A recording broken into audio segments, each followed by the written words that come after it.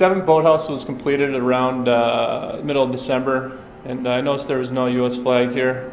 So I contacted uh, Congressman Lankford's office because he's the uh, the rep for this area, and I asked him if he would hang a flag over the U.S. Capitol for us, and instantly I I got a, a call back, and uh, they said they would. Three weeks later, it was here, and so uh, I was surprised when I heard he was going to come out here because I was just ex- expecting a flag, and it's pretty cool and neat that he's down here now.